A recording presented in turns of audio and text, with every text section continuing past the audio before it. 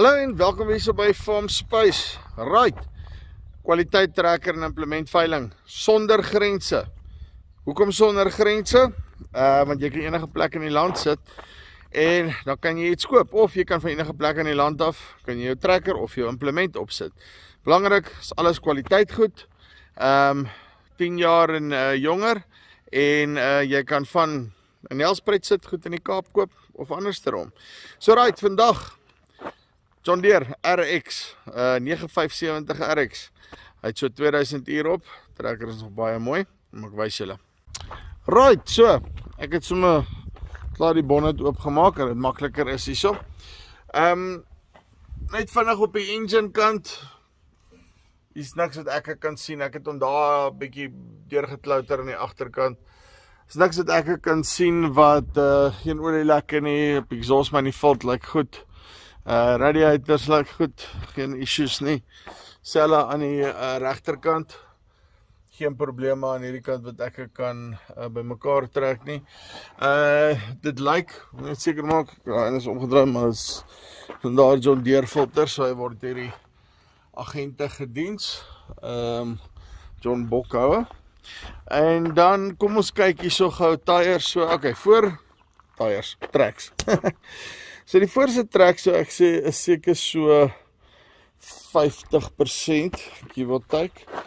Ehm um, as jy kyk hier aan die binnekant die bokkie wielietjies daar so so klein baarsietjie op hierdie ene. Uh niks ernstig hier so voor, lyk dit vir my baie mooi. Hierdie laks is ook glad. Ek kan nêrens dat hy uh voel dat hom 'n steppie geëet het daarso nie. So ja, ek is baie happy met hoe hy Ehm um, lyk like, dan kom ons kom gou hier by die knak gedeelte. So jy kan sien maar net uh alles lyk like daarom redelik skoon nie. Ek het hom klaar so 'n bietjie geknak kant toe kant toe kan niks hoor wat snaaks is nie. Ek wil weer sien proper John Deere filters wat op is. En ehm um, hier's ook nie enige opsigtelike olie lekke wat ek kan rapporteer nie. Oh, ek wil maar net sien. Maar is daar 'n mas grease? Grease is belangrik. En ja, daar's kan ek sê waar hy so wil, sy jippa. Ehm um, so daai is ook sharp. Right. Nou aan die agterkant by die tracks. Ehm um, ja, hy ek is 30% oor op VTL is as dit my trekker was sê ek mag kyk het om my agtertracks te vervang. Ehm um, hulle moet maar hulle is op hulle terwyl jy gaan seker so nog so halwe kwart seisoen, half seisoen afhangende van jou hektare uit hom uitkry op die einde van die dag. Wat ek ook dan sommer saam sal doen is is hierdie ehm um, ek wil hulle jockey wiele noem. Ek weet hulle het 'n ander naam. Maar as jy sien daar aan die agterkant is hulle bietjie geweer. So ek weet nie hoe lank gaan hulle nog hou nie. Ek sal hulle ek weet nie of jy dit goed kan retread nie. Ek is nou nie seker nie. Uh ek is seker van jy kan hulle seker retread, maar ja, die twee lyk of hulle hulle gaan 'n bietjie aandag nodig hê. Uh so klein basietjie op daai ene ek dink nie dis ernstig nie. Ek dink dis reg eenvoudig.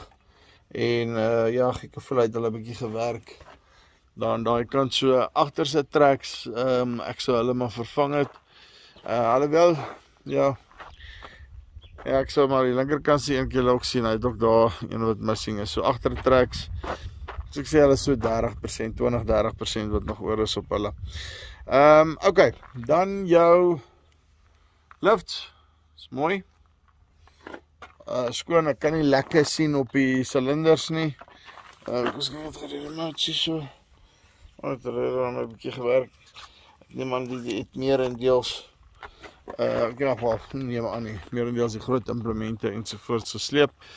Uh, uh laat hy actually bietjie gewerk val op jou planters en daai tipe van goed.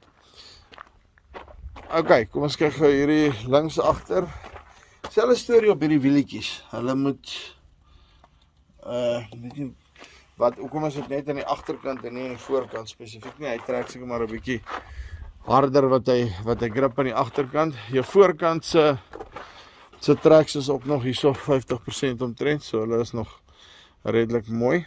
Ehm um, en daar's nie enige issues wat ek kan sien ehm um, rondom die ek noem hulle maar jockey wiele help my maar met dit ehm um, as ek uh, ek kan die naam is by my weg. In elk geval, so kom ons maak bietjie bonnet toe. Hier is so klein Ag ek sien ons klein merkie op die bonnet, niks ernstigs nie.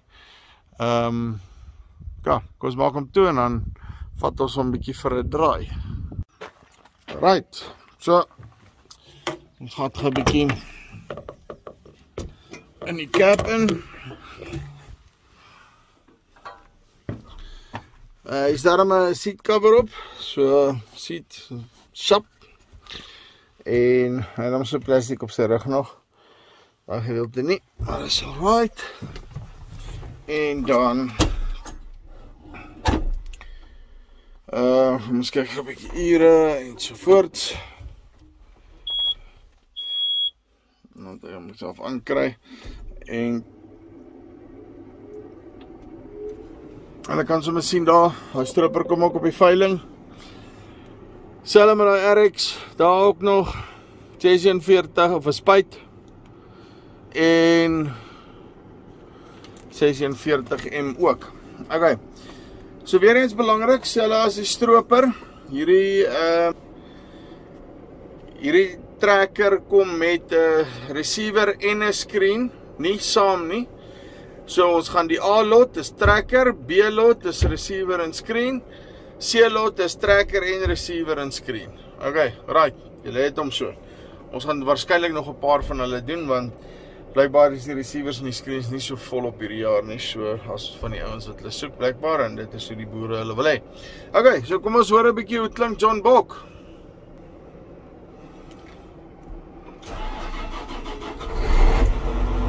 Nou sien volle 900 RPMs. Ons is besig om te soek hier vir working groups. Hy soek sy maatjies. Net hier doodmaak. Right, menu, engine.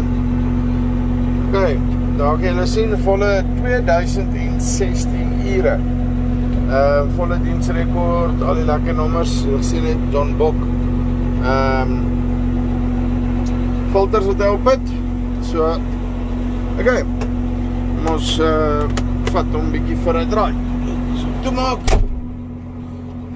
En dan kan ons deur die deur die lot gaan. Net vir 'n bietjie uitzoom en ons 'n bietjie beter die te kry. Okay, right. So. Nou kan ons lekker deur die ratte gaan. Uh, nader bring. Nou, dit is naby 5 Dit is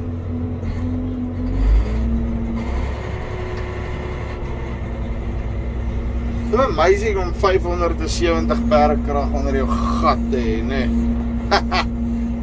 en dit dit hoe sê hoe sê Janu 570 van John Deere se beste perde. Ehm um, so ja, wat ek kan sê is, ons net 'n bietjie tak. Jy sien ons tak om heeltemal. Nou nie heeltemal tak laat ek in die in die ander trekkers vasnak jy, dit sal nie snaaks nie. Ehm um, gaan aan die ander kant toe. Baie mooi no issues. Ons om net terugbring. En uh, nou 'n bietjie reverse kap sien maar by al daai goeie reg is en dan vat ons hom net deur die ehm um, deur die ratte soos wat ons moet. Right. Reverse. Baie mooi. As ek met die goeie aangaan sal ek uh, een van die dae jy moet legit vra wat 'n trekker hy die lekkerste. OK. Uh, gaan net so 'n bietjie met 'n draai kom. So bly as dit die son skyn vandag. Ek hoop dit is besig die son om te skyn daar waar jou mielies groei. Jy sien hier so is op 'n klompie mooi mielies wat daarso staan. OK.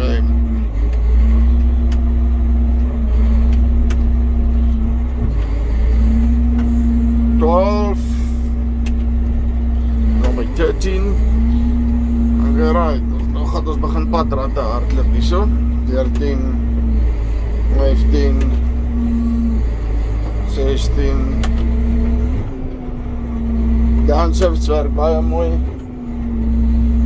so nee all in all ek is happy met die trekker ek dink regtig is in 'n baie goeie kondisie jy sal nie 'n fout maak om hierdie enetjie te koop nie op uh veral op ja, kwaliteit trekker en implement veiling.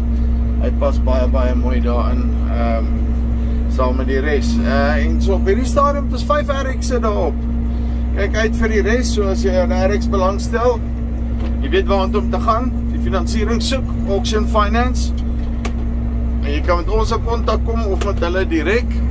En dan ehm um, ja, kan jy ietsie kry. O, net 'n belangrike ding ook. Ehm um, al die trekkers kom met 'n uh, step-off versekering. So trekkers en stroopers op die veiling kom met 'n step-off versekering. Ehm um, wat beteken uh, dat jy vir 2 maande verniet versekering op die ding het. Dit, dit sluit nie jou drive-train en goed in nie. Geborg deur King Price Pay as you farm. En ehm um, Jy kry 'n tracking unit in, so jy kan presies sien waar jou tracker is en al daai lekker nommers. En dan kan jy besluit of jy wil extend of nie, hoe die pay as you farm ding werk ook. Uh as jy tracker in die stoor staan, dan betaal jy minder vir jou versekerings. So ja, nou breiner. Dit is hier van Farm Space af. Kwaliteit tracker en implement veiling sonder grense. Tot volgende keer. Groete.